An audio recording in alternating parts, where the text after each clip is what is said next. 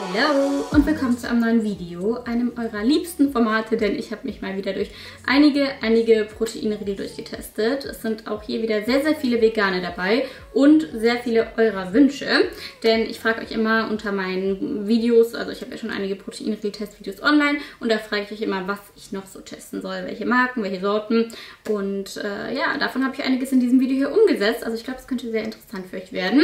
Wie gewohnt in der Infobox alles mit Timestamps versehen, da könnt ihr zu den Marken vorspringen, die euch am meisten interessieren. Ich freue mich aber natürlich, wenn ihr das ganze Video anschaut, denn das ist immer einiges an Arbeit. Wie immer Zutaten, Nährwerte eingeblendet, Preis, wo ich den Riegel gekauft habe und natürlich meine Wertung mit dazu. Dementsprechend freue ich mich da über einen Daumen nach oben, wenn ihr den da lasst und natürlich auch ein Abo.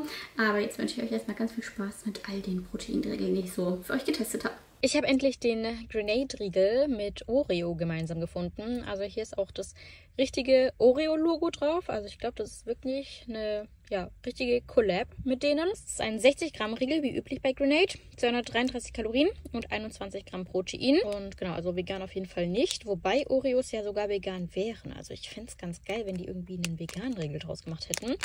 Wobei ich glaube, von Grenade gibt es generell noch keinen veganen, wenn ich gerade richtig liege. Jedenfalls sind das hier die Zutaten und ich sehe direkt auch schon Rinderkollagenhydrolysat. Leider, also der hier ist auch mal wieder nicht vegetarisch. Ich habe auch unter dem letzten Proteinregeltest-Video einen Kommentar bekommen, ähm, wie ich denn so dazu stehe, dass ich das ja damit auch unterstütze. Und ehrlich gesagt, weiß ich nicht. Ich meine, an sich, natürlich hat die Person recht damit. Ich äh, supporte das ja dann trotzdem damit. Also zum einen dadurch, dass ich mir den selber kaufe und zum anderen eben dadurch, dass ich das halt noch zeige. Wobei ich halt finde, ich sage es ja auf jeden Fall auch immer mit dazu und ähm, sage ja auch, dass das, also Kollagenhydrolysat, das sind einfach Schlachtabfälle. I don't know. Ich weiß nicht, was meint ihr? Soll ich solche Riegel in Zukunft dann nicht mehr zeigen, wenn Kollagenhydrolysat mit drin ist? Oder äh, wie steht ihr so dazu? Mir gerne sehr konstruktiv einfach mal Feedback zu da lassen. Jedenfalls sind äh, das hier die, äh, die Zutaten. Konntet ihr euch jetzt, glaube ich, lange genug anschauen. Und so schaut der von innen aus. Also das ist wirklich so ein krasses... Also da ist wirklich so eine Oreo-Schicht drin. Also ihr seht unten dieses keksig dunkle und dann oben diese ja, Oreo-Creme. Und es schmeckt auch wirklich, als wäre da ein Oreo drin. Also der ist wirklich geil. Äh, ich habe gerade gleich drauf geschaut, ob ähm, hier richtiger Zucker mit drin ist, weil das ist ja in Oreos eigentlich der Fall. Ich glaube, wurde hier dann ersetzt durch Maltit und Sucralose. Ja, also wir haben hier auch nur 1 Gramm Zucker pro Riegel. Also das ist wirklich heftig. Es schmeckt wirklich, als wäre da einfach ein Oreo drin. Finde ich sehr, sehr nice. Also geschmacklich wirklich bombastisch, muss man wirklich, muss man echt sagen. Aber ist halt, wie gesagt, leider Kollagen. Mein allererster Pistazienproteinriegel und dann noch mit weißer Schokolade. Der ist von Iron Max, habe ich im Kaufland gefunden. 45 Gramm Riegel, 185 Kalorien und 14 Gramm Protein. Bisschen weniger als üblich für einen nicht veganen Proteinriegel, kann man so sagen. Der ist nämlich nicht vegan.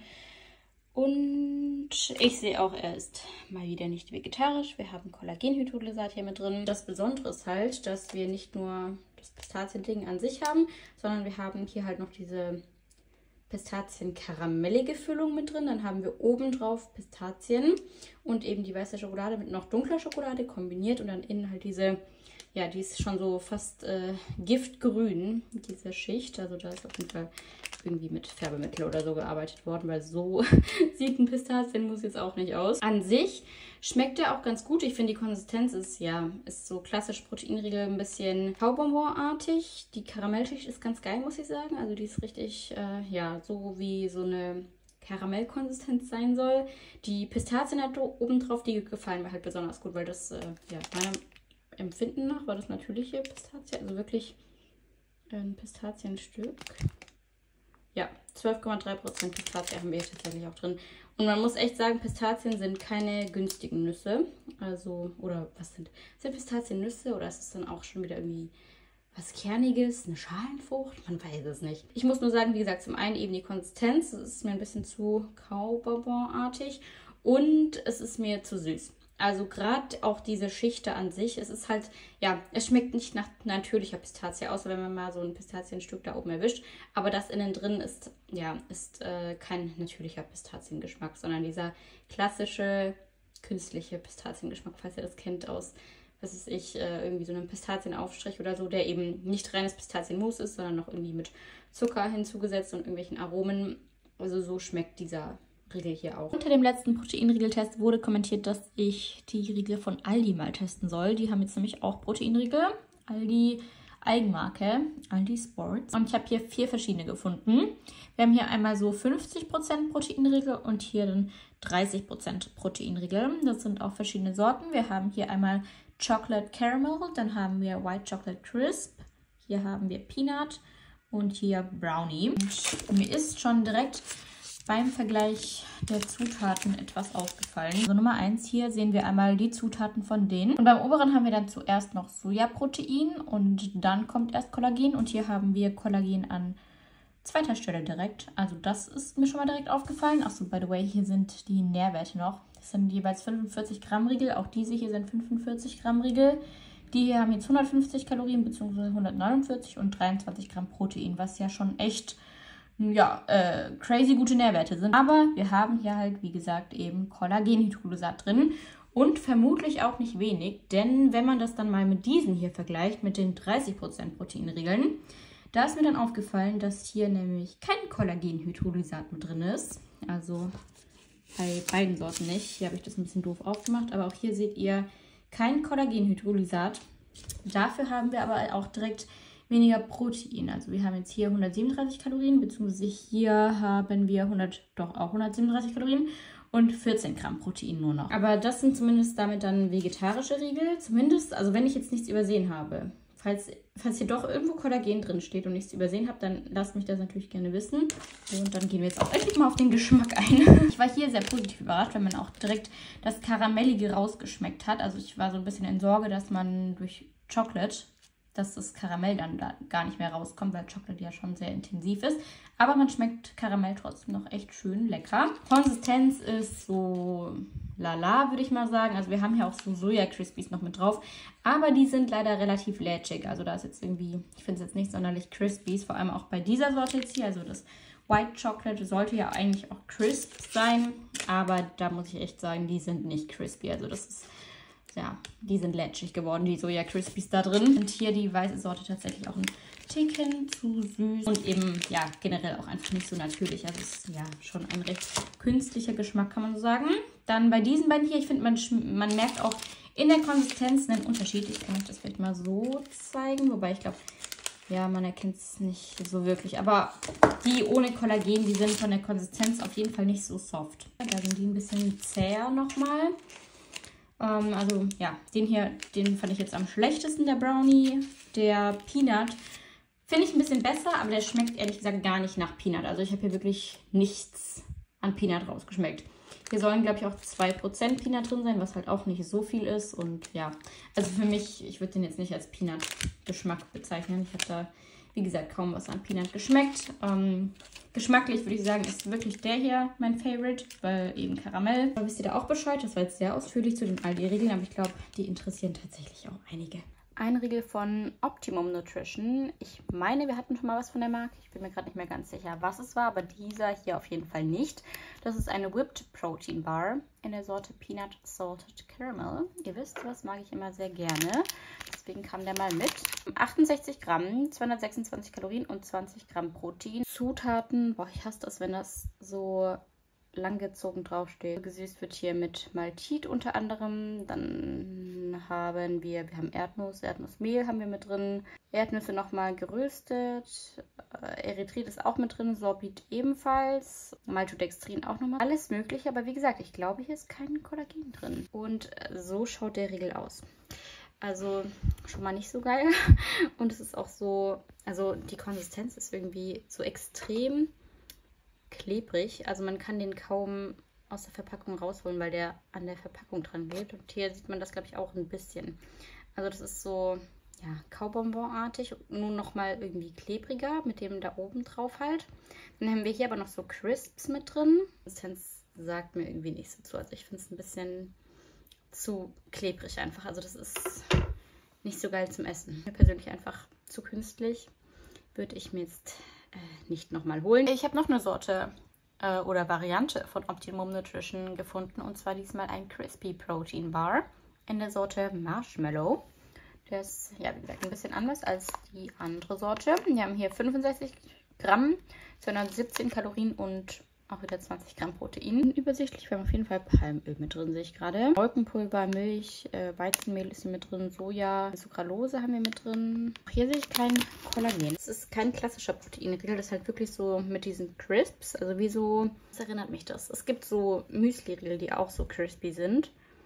Und so ist der hier. Direkt schon mal sagen, dass der mir ein Ticken zu süß ist, aber man muss wirklich sagen, der schmeckt nach Marshmallow, beziehungsweise halt hier, wie es auch auf dem Bild drauf ist, wie so ein S'mores. Dadurch, dass diese Masse halt so crispy ist, das ist wie so Butterkeksmäßig, aber der Geschmack ist wirklich wie so ein Marshmallow, wie so ein gebackenes Marshmallow. Wie gesagt, mir persönlich einfach ein Ticken zu süß und ähm, ja, Zutaten sind jetzt halt auch nicht so bombastisch, ne? Aber kann man machen. Diesen Riegel hier, das ist Wader, aber hier steht Joe's. Das sind neue Sorten, diese Core-Sorten.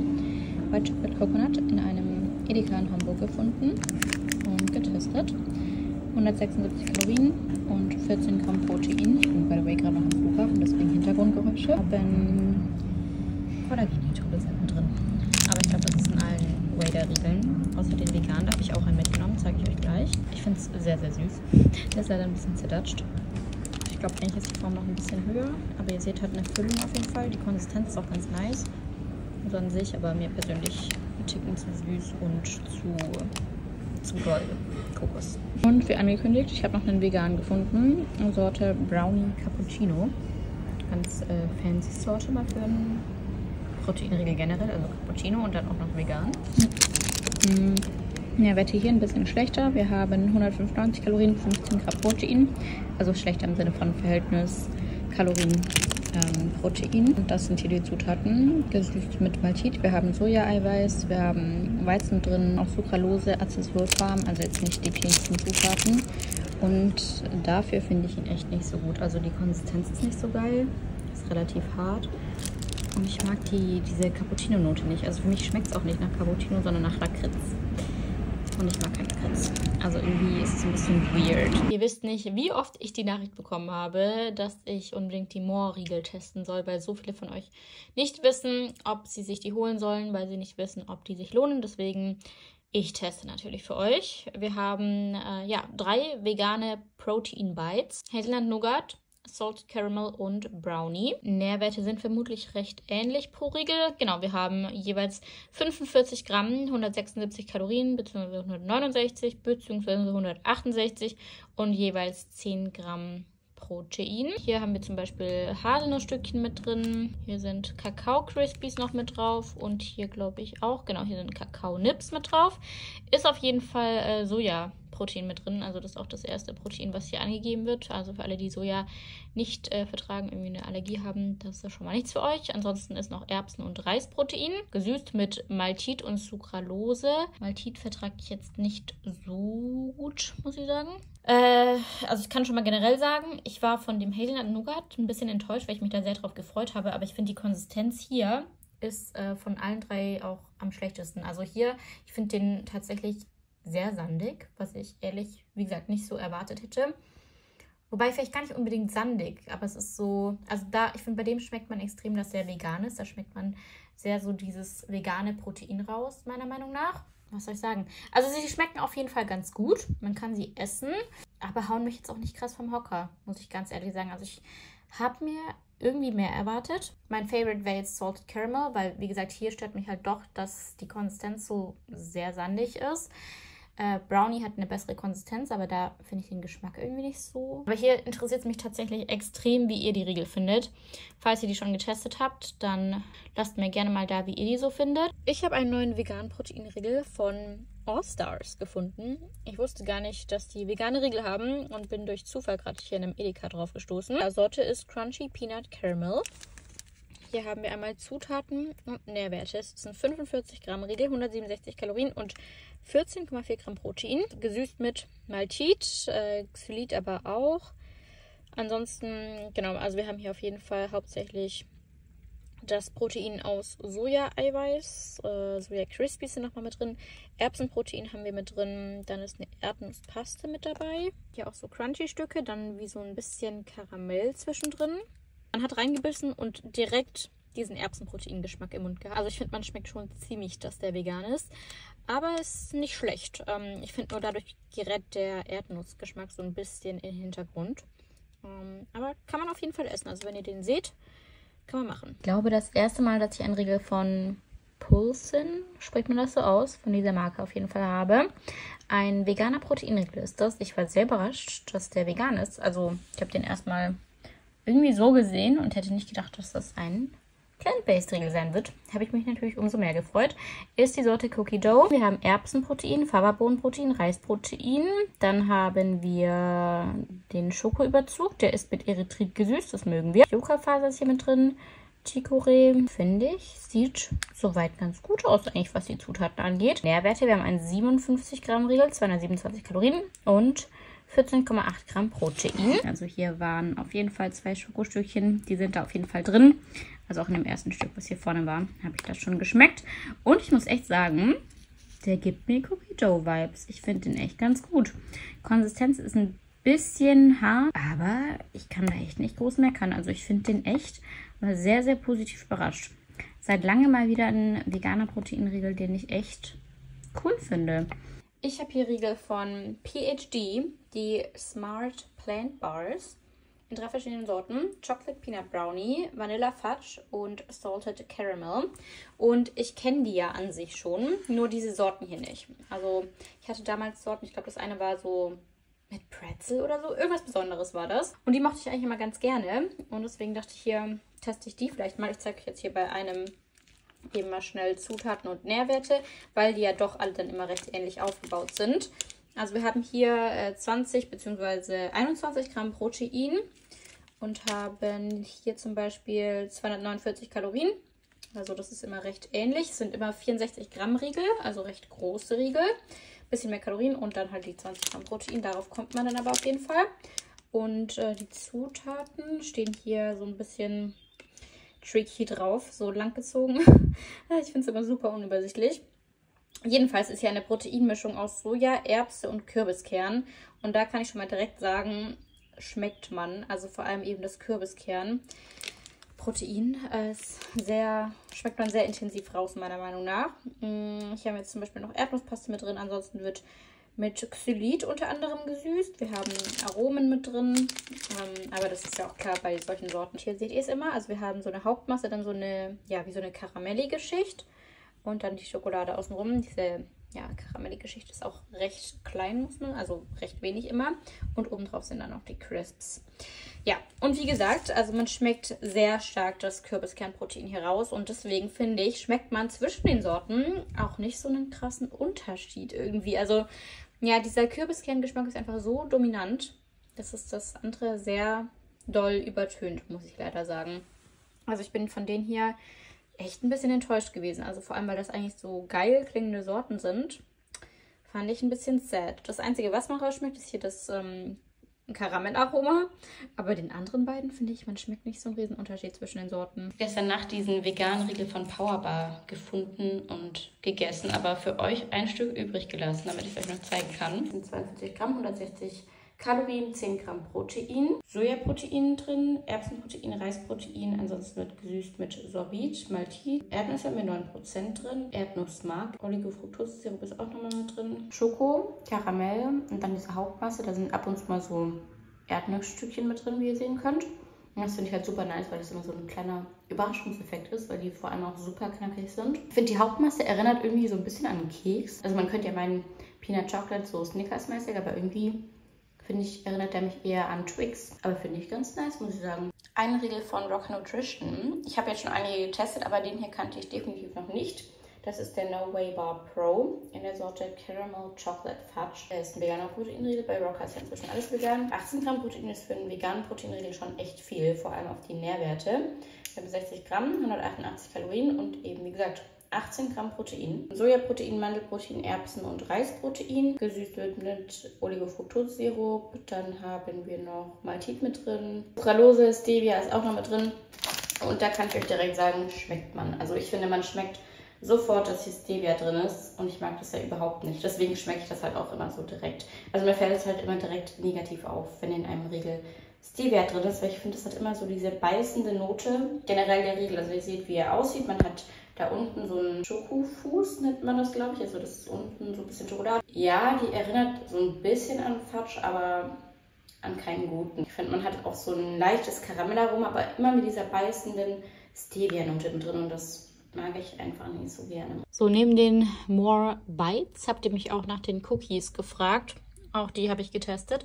Ich habe hier fünf verschiedene Sorten, um mal so ein bisschen durchzutesten. Peanut Butter, Brownie, Cookies and Cream, Raspberry Cream und Peanut Butter Jelly. Diese hier ist die einzige vegane Sorte, die jetzt hier mit dabei ist. Also die nennen sich Chunky Cookies und sind eben immer mit so einer Füllung und dann mit Schokolade umhüllt. Also ihr seht es ja hier eigentlich auch. Ich zeige es euch gleich natürlich nochmal genauer. Zutaten gehe ich jetzt nicht bei jedem Einzelnen drauf ein. Ich meine, ihr könnt es euch auch einfach im Internet sonst anschauen. Aber einen kleinen Blick können wir mal hier zum Beispiel bei der Sorte jetzt mal drauf werfen. Also im Prinzip sind das einfach Kekse, klassische Kekse, die eben auch mit Weizenmehl seht ihr ja, äh, Vollmilchpulver, Rapsöl haben wir hier mit drin. Nur dass diese hier halt mit ähm, ja, nicht mit Zucker gesüßt sind, sondern hier eben mit Maltit. Und auch die Nährwerte sind tatsächlich gar nicht, also kalorientechnisch ist da jetzt nicht der Riesenunterschied zu normalen Keksen, die man so kaufen kann. Der Unterschied liegt halt im Zucker. Also ihr seht ja, der hat recht wenig Zucker. Sieht man dann hier auch in den mehrwertigen Alkoholen. Genau, ähm, so sehen die aus.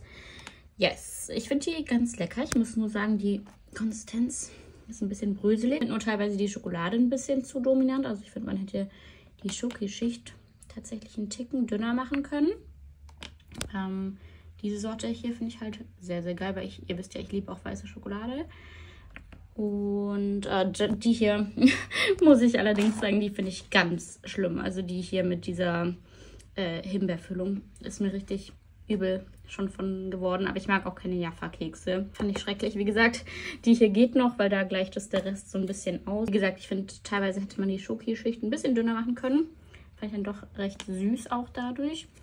Aber so an sich kann man die auf jeden Fall essen und äh, spart so eben bisschen was an Zucker ein. Und das war's auch schon mit dieser Runde an Proteinriegeln.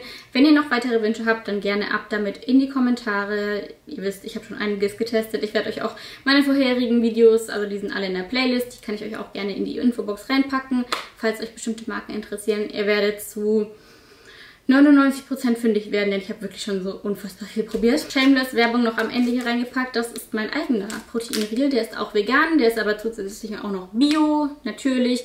Wird nämlich mit Erythrit gesüßt und ist super lecker. Ist die Sorte Peanut White Chocolate. Also falls ihr den testen wollt, ähm, packe ich euch auch in die Infobox mit Rabattcode mit dazu.